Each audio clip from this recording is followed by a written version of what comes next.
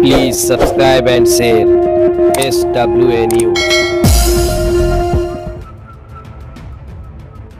Breaking news Bahraich दो बसों के बीच भयंकर टक्कर। एक दर्जन से अधिक यात्री घायल, दो की हालत नाजुक।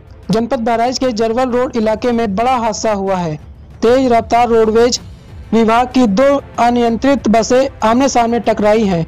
दोनों बसों के बीच हुई जोरदार टक्कर में एक दर्जन से अधिक यात्री घायल बताए जा रहे हैं, जिसमें दो की हालत बेहद नाजुक बताई जा रही है। बताया जा रहा है कि बहराइच से लखनऊ जा रही बहराइच डिपो की बस एवं गोंडा डिपो की बस के बीच टक्कर हो गई।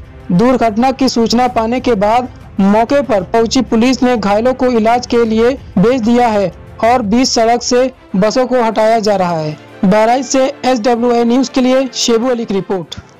टोटल पंद्रह मरीज़ हमारे पास आए हुए हैं, जिसमें से तीन लोगों को हम लोगों ने जिला अस्पताल रेफर किया है और कैजुअलिटी अभी तक कोई नहीं है।